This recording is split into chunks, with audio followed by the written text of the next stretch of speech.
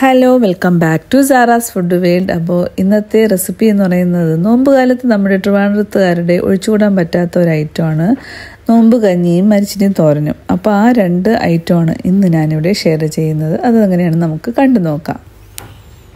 അപ്പോൾ നമ്മുടെ നാട്ടിലുണ്ടാക്കുന്ന നോമ്പ് കഞ്ഞിയുടെ ടേസ്റ്റിൽ നിന്നും കുറച്ചൊരു വ്യത്യസ്തമായിട്ടാണ് ഇന്നിപ്പോൾ ഈ ഒരു നോമ്പ് കഞ്ഞി തയ്യാറാക്കുന്നത്.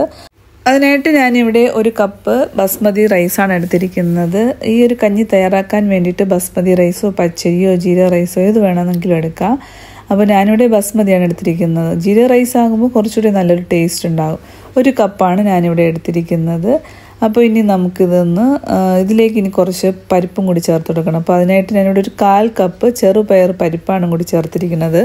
അതും കൂടി ആകുമ്പോഴാണ് നല്ലൊരു കൊഴുപ്പ് കിട്ടുന്നത്. അപ്പോൾ ഒരു കപ്പ് അരിക്ക് ഒരു കാൽ കപ്പ് ചെറുപയർ പരിപ്പും കൂടി എടുത്തിട്ടുണ്ട്. അപ്പോൾ ഇനി ഇതൊന്ന് നന്നായിട്ടൊന്ന് വാഷ് ചെയ്തെടുക്കണം. വാഷ് ചെയ്തിട്ട് കുറച്ച് നേരം ഒരു അരമണിക്കൂറെങ്കിലും ഇതൊന്ന് സോക്ക് ചെയ്യാനായിട്ട് വയ്ക്കണം അപ്പോൾ നന്നായിട്ടൊന്ന് കഴുകിയതിന് ശേഷം വെള്ളം ഒഴിച്ച് ഒരു അരമണിക്കൂർ സോക്ക് ചെയ്യാനായിട്ട് വെച്ചിട്ടുണ്ട്. കഞ്ഞി തയ്യാറാക്കി എടുക്കാൻ വേണ്ടിയിട്ട് ഞാൻ കുക്കറിലാണ് വയ്ക്കുന്നത് കുക്കറിലോട്ട് ഒരു രണ്ട് ടേബിൾ സ്പൂൺ വെളിച്ചെണ്ണ ഒഴിച്ചു കൊടുത്തിട്ടുണ്ട്. ഇനി ഇതിലോട്ട് നമുക്ക് ഒരു ചെറിയ കഷ്ണം പട്ടയും മൂന്ന് ഏലക്കയും രണ്ട് ഗ്രാമ്പും ഇട്ട് കൊടുത്തിട്ടുണ്ട്. അതിന്റെ കൂടെ തന്നെ ഒരു ടീസ്പൂൺ ഉലുവ ചേർത്ത് കൊടുത്തിട്ടുണ്ട്. അതിന്റെ കൂടെ ഒരു അര ടീസ്പൂൺ ചെറിയ ജീരകം അതും കൂടി ഇട്ടിട്ട് ഒന്ന് വറുത്തതിന് ശേഷം ഇനി ഇതിലോട്ട് സവാള ചേർത്ത് കൊടുക്കുക അപ്പോൾ ഇതൊരു മസാല കഞ്ഞിയിലാണ് തയ്യാറാക്കുന്നത് കൊണ്ടാണ്. അപ്പോൾ ഇനി ഇതിലോട്ട് ഒരു സവാള നീളത്തിന് അരിഞ്ഞതും കൂടി ഇതിലേക്ക് ചേർത്ത് കൊടുക്കുക. എന്നിട്ടൊന്ന് വഴറ്റിയെടുക്കണം. നമ്മൾ കറിക്കൊക്കെ തയ്യാറാക്കുന്നത് പോലെ ഒരുപാടങ്ങ് സവാളയൊക്കെ വഴറ്റിയെടുക്കേണ്ട. ജസ്റ്റ് ഒന്ന് സോട്ട് ചെയ്താൽ മാത്രം മതിയാകും. അപ്പോൾ ഇനി ഇതിലേക്ക് നമുക്ക് എരിവിന് ആവശ്യമായിട്ടുള്ള പച്ചമുളക് ചേർത്ത് കൊടുക്കുക അപ്പോൾ ഞാനിവിടെ പച്ചമുളക് ഇതുപോലെ ഒരു കണ്ടെയ്നറിലാണ് സൂക്ഷിക്കുന്നത്. ഒരു തണ്ട് കളഞ്ഞ് നന്നായിട്ട് കഴുകിയിട്ട് ഇതുപോലെ വെച്ച് കഴിഞ്ഞാൽ ഒരുപാട് കാലം ഇരിക്കും. അപ്പോൾ അതിലേക്ക് ഞാനിവിടെ മൂന്ന് പച്ചമുളകാണ് എടുത്തിരിക്കുന്നത്. നീളത്തിന് അരിഞ്ഞ് ഇതിലേക്ക് ചേർത്ത് കൊടുക്കുന്നുണ്ട്. അപ്പോൾ എരിവിന് വേണ്ടിയിട്ട് പച്ചമുളകാണ് കൂടുതലായിട്ട് ഇട്ട് കൊടുക്കുന്നത്. അപ്പോൾ അതിനനുസരിച്ചിട്ട് വേണം ഇതിലേക്ക് പച്ചമുളക് ചേർത്ത് കൊടുക്കാനുള്ളത്. അപ്പോൾ മൂന്ന് പച്ചമുളക് നീളത്തിന് അരിഞ്ഞതും പിന്നെ ഇതിലോട്ട് ഒരു ഒന്നര ടേബിൾ സ്പൂൺ ഇഞ്ചി വെളുത്തുള്ളി പേസ്റ്റും കൂടി ചേർത്ത് കൊടുക്കുക എന്നിട്ടൊന്ന് സോട്ട് ചെയ്തെടുക്കണം. ഇനി ഇതിലേക്ക് ഒരു മീഡിയം സൈസ് തക്കാളി ഇതുപോലെ അരിഞ്ഞതും കൂടി ചേർത്ത് കൊടുക്കണം. അപ്പോൾ ഇതിലേക്ക് പൊടികൾ ഒരുപാട് ഇട്ട് കൊടുക്കേണ്ട ആവശ്യമില്ല. അതുകൊണ്ടാണ് ആദ്യം ഒന്ന് തക്കാളി ഇട്ട് കൊടുത്തിട്ട് പിന്നെ പൊടികൾ ചേർത്ത് കൊടുക്കുന്നത്. ഒരു തക്കാളി ഇട്ടിട്ടൊന്ന് വഴറ്റിയതിന് ശേഷം ഇനി ഇതിലോട്ട് ഒരു അര ടീസ്പൂൺ മഞ്ഞൾപ്പൊടി ആണ് ഇട്ട് കൊടുക്കുന്നത്. എന്നിട്ട് പിന്നെ നല്ലൊരു ഫ്ലേവറിന് വേണ്ടിയിട്ടൊരു നാല് തണ്ട് മല്ലിയിലയും ഒരു തണ്ട് പുതിനയിലയും കൂടി ചേർത്ത് കൊടുക്കുന്നുണ്ട്. ഇനി ഇതൊന്ന് മിക്സ് ചെയ്തെടുത്തതിന് ശേഷം ഇനി നമുക്ക് നമ്മൾ കഴുകി വൃത്തിയാക്കി വെച്ചിരിക്കുന്ന അരിയും കൂടി ഇതിലേക്ക് ചേർത്ത് കൊടുക്കാം. അപ്പോൾ ഞാൻ ഇതൊരു മസാല കഞ്ഞിയായിട്ട് തയ്യാറാക്കുന്നത് കൊണ്ടാണ് ഈ ഒരു ഐറ്റം എല്ലാം ഇട്ട് കൊടുക്കുന്നത്. എന്നിട്ട് ഇത് നമ്മൾ കഴുകി വെച്ചിരിക്കുന്ന ആ ഒരു അരിയും പരിപ്പും ഇതിലേക്ക് ചേർത്ത് കൊടുക്കാം. അപ്പോൾ ഇതിൽ ചേർത്തതിന് ശേഷം ഇനി ഇതിലേക്ക് വെള്ളം ഒഴിച്ചു കൊടുക്കണം. നമ്മൾ എത്രയാണോ എടുത്തിരിക്കുന്നത് അതിന്റെ മൂന്നിരട്ടി വെള്ളം വേണം ഇതിലേക്ക് ഒഴിച്ചു കൊടുക്കാനുള്ളത്. എന്ന് വെച്ചാൽ ഈ ഒരു പരിപ്പൊക്കെ വേവിക്കാനുമ്പം നല്ല വെള്ളം വേണം. അതുകൊണ്ട് ഇതിലേക്ക് മൂന്നിരട്ടി വെള്ളമാണ് ഒഴിച്ചെടുക്കാനുള്ളത്. അപ്പോൾ ഇതൊരു കഞ്ഞി രൂപത്തിലാണല്ലോ തയ്യാറാക്കുന്നത്. അതുകൊണ്ട് അത്യാവശ്യം വെള്ളം വേണം. എന്നിട്ട് ഇതിലേക്ക് ആവശ്യത്തിനുള്ള ഉപ്പും ഇട്ട് ഒന്ന് മിക്സ് ചെയ്തതിന് ശേഷം കുക്കർ അടച്ച് വെച്ചിട്ട് ഒരു മൂന്ന് വിസിൽ വരുന്നത് വരെ ഇതൊന്ന് വേവിച്ചെടുക്കാം. അങ്ങനെ മൂന്ന് വിസിലും കഴിഞ്ഞതിന് ശേഷം ഇനി തുറന്ന് നോക്കാം. അപ്പോൾ നന്നായിട്ട് ഈ ഒരു പരിപ്പും പച്ചരിയൊക്കെ നന്നായിട്ട് തന്നെ വെന്ത് വന്നിട്ടുണ്ട്. പച്ചരിയും പരിപ്പും പെട്ടെന്ന് വെന്ത് വരുന്നത് കൊണ്ട് തന്നെ ഒരു മൂന്ന് വിസിൽ തന്നെ മതിയാകും. കണ്ടോ? നന്നായിട്ട് വെന്ത് വന്നിട്ടുണ്ട്. ഇനി നന്നായിട്ട് ഇതുപോലെ ഒന്ന് കുഴച്ചെടുക്കണം. ഒരു കഞ്ഞി രൂപത്തിലാണല്ലോ തയ്യാറാക്കുന്നത് കൊണ്ട് നന്നായിട്ട് മാഷ് ചെയ്തെടുക്കണം.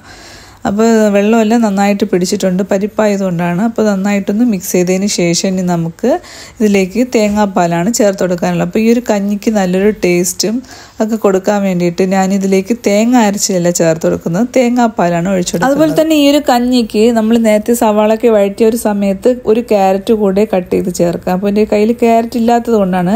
അപ്പോൾ ഒരു മീഡിയം സൈസ് ക്യാരറ്റും കൂടി കട്ട് ചെയ്ത് ഇതിലേക്ക് ചേർത്ത് കൊടുക്കാവുന്നതാണ്. അപ്പോൾ നന്നായിട്ടൊന്ന് മാഷ് ചെയ്തതിന് ശേഷം ഇനി ഞാനിതിലേക്ക് ഒരു തേങ്ങയുടെ പാലാണ് എടുത്തിരിക്കുന്നത്. അപ്പോൾ ഒരു തേങ്ങയുടെ പാൽ ഇതിലേക്ക് ഒന്നാം പാൽ രണ്ടാം പാൽ ഏതാണെങ്കിലും രണ്ടും കൂടി ഒന്ന് മിക്സ് ചെയ്ത് ഇതിലേക്കൊന്ന് ഒഴിച്ചു കൊടുക്കണം. അപ്പോൾ ഇത് ഒരു കപ്പ് പച്ചരിക്കാണ്. അപ്പോൾ അത് ഒരു ഒരുപാട് ക്വാണ്ടിറ്റി ഉണ്ടാകും. അപ്പോൾ ചെറിയൊരു ഫാമിലിക്കൊക്കെ ആണെങ്കിൽ ഒരു അര കപ്പ് കാൽ കപ്പ് പച്ചരിയിൽ തയ്യാറാക്കിയാലും മതിയാകും. ഇതിപ്പോൾ അത്യാവശ്യം ഒരു ക്വാണ്ടിറ്റി ഉള്ളത് കൊണ്ടാണ് ഒരു തേങ്ങയുടെ പാലെടുത്തിട്ടുള്ളത് അതിന്റെ ഒന്നാം പാൽ രണ്ടാം പാൽ രണ്ടും എടുത്തിട്ട് ഒന്ന് മിക്സ് ചെയ്തതിന് ശേഷം ഇനി വെള്ളം കുറവാണ് തോന്നുന്നുണ്ടെങ്കിൽ ഇതിലേക്ക് ചെറിയ ചൂട് വെള്ളവും കൂടി ഒഴിച്ചിട്ട് നന്നായിട്ടൊന്ന് മിക്സ് ചെയ്ത് ഒരു ലോ ഫ്ലെയിമിലിട്ടിട്ട് വേണം ഇനി ഒന്ന് തിളപ്പിച്ചെടുക്കാനുള്ളത്. ആ ഒരു തേങ്ങാപ്പാലൊക്കെ ഒരുപാടങ്ങ് ഇട്ട് വറ്റിച്ചെടുക്കരുത്. ചെറിയൊരു ഫ്ലെയിമിൽ വേണം ഇതൊന്ന് തിളപ്പിച്ചെടുക്കാനുള്ളത്. അപ്പോൾ ഇനി ഇതിലോട്ട് കുറച്ച് വെജിറ്റബിളും കൂടി ആഡ് ചെയ്യുന്നുണ്ട്. അപ്പോൾ ഞാൻ ഇതിലേക്ക് കുറച്ച് ഗ്രീൻ പീസും പിന്നെ കോണുമാണ് ചേർത്തിരിക്കുന്നത്. ഇത് ഓപ്ഷണലാണ് വേണമെന്നുണ്ടെങ്കിൽ. അപ്പോൾ ഇതൊരു കുക്ക്ഡ് ആയിട്ടുള്ള ഫ്രോസൺ കോണും ഗ്രീൻ പീസുമാണ് അപ്പോൾ അതും കൂടി ഇതിലേക്ക് ചേർത്ത് കൊടുക്കുന്നുണ്ട്. ഇത് ഏകദേശം കുക്ക് ആയതുകൊണ്ടാണ് ലാസ്റ്റ് ചേർത്ത് കൊടുത്തിട്ടുള്ളത്. അപ്പോൾ തേങ്ങാപ്പാലൊക്കെ ഒഴിച്ചതിന് ശേഷം ഇതൊന്ന് ഇട്ട് കൊടുത്തിട്ട് ഒരു മീഡിയം ഫ്ലെയിമിലോ ലോ ഫ്ലെയിമിലോ വെച്ചിട്ട് വേണം ഇതൊന്ന് കുക്ക് ചെയ്തെടുക്കാനുള്ളത്. ഒന്ന് ചെറുതായിട്ടൊന്ന് അടച്ച് വെച്ചിട്ട് ഒന്ന് നമുക്ക് കുക്ക് ചെയ്തെടുക്കാം. അപ്പോൾ കഞ്ഞി ഇവിടെ റെഡി ആയിട്ടുണ്ട്. ഇനി മരിച്ചിനി തോരൻ ഒന്ന് റെഡിയാക്കി എടുക്കണം. അപ്പോൾ അതിനായിട്ട് ഞാനിവിടെ മരിച്ചിനി ഇതുപോലെ ഒന്ന് കട്ട് ചെയ്തെടുത്ത് വെച്ചിട്ടുണ്ട്. തോരനാകുമ്പോൾ ഈ ഒരു രീതിയിൽ വേണം കട്ട് ചെയ്തെടുക്കാനുള്ളത്. എങ്കിലേ ആ ഒരു ടേസ്റ്റ് കിട്ടുള്ളൂ. അപ്പോൾ ഇതാ ഇതുപോലെ ഒന്ന് കട്ട് ചെയ്തതിന് ശേഷം നമുക്കിനി ഇതൊന്ന് വേവിച്ചെടുക്കാം. അപ്പോൾ ഇതുപോലെ ഒരു പാത്രത്തിലേക്ക് ഇതൊന്ന് ഇട്ട് കൊടുത്തിട്ട് ആവശ്യത്തിന് ഇത് മുങ്ങി നിൽക്കുന്ന രീതിയിൽ വേണം വെള്ളം ഒഴിച്ച് വേവിക്കാനുള്ളത്. നമുക്കിതൊന്ന് വെള്ളം കളഞ്ഞിട്ട് വേറൊരു വെള്ളത്തിലാണ് ഇത് വേവിക്കാനുള്ളത്. അതുകൊണ്ട് മുങ്ങി നിൽക്കുന്ന രീതിയിൽ വെള്ളം ഒഴിച്ച് വേവിച്ചെടുക്കണം. അപ്പം ഈ ഒരു തോരന് തയ്യാറാക്കുമ്പോൾ മരിച്ചിനി ഒരുപാട് അങ്ങ് വെന്ത് വരാൻ പാടില്ല. ചെറുതായിട്ട് വേണം ഒന്ന് വേവിച്ചെടുക്കാനുള്ളത് കൊണ്ട് അങ്ങനെ ശ്രദ്ധിച്ച് വേണം ഇതൊന്ന് വേവിച്ചെടുക്കാനുള്ളത്.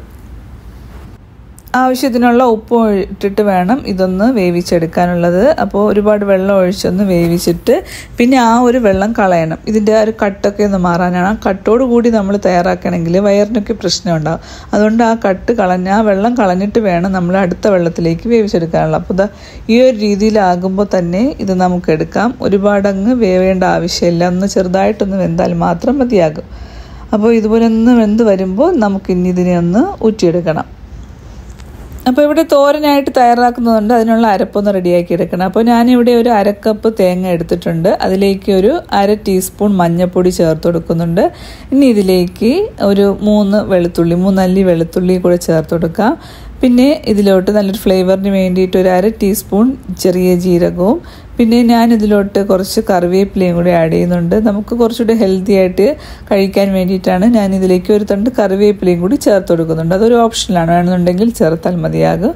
എന്നിട്ട് നമ്മൾ തോരനൊക്കെ അരയ്ക്കുന്നത് പോലെ ചെറുതായിട്ടൊന്ന് അരച്ചെടുക്കണം.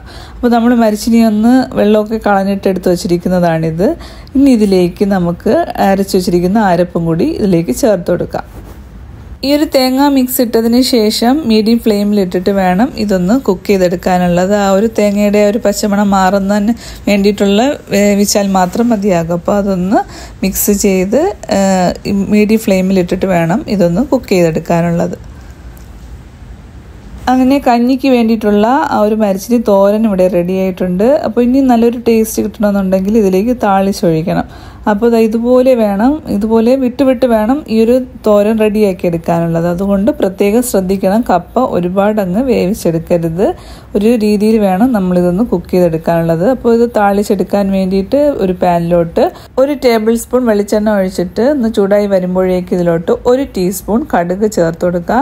കടുകൊന്ന് പൊട്ടി വരുമ്പോൾ ഇതിലോട്ടൊരു നാല് ചെറിയ ഉള്ളി ചെറുതായിട്ട് കട്ട് ചെയ്തും കൂടി ചേർത്ത് കൊടുക്കണം. ഈ ഒരു തോരന് നല്ലൊരു ടേസ്റ്റാണ്. ഇതുപോലെ ചെറിയ ഉള്ളി ഇതുപോലെ ഒന്ന് വറുത്തെടുക്കുമ്പോൾ അതൊന്ന് വറുത്തതിന് ശേഷം ഇനി ഇതിലോട്ട് ഒരു വറ്റൽ മുളക് കട്ട് ചെയ്തതും കൂടി ചേർത്ത് കൊടുക്കാം.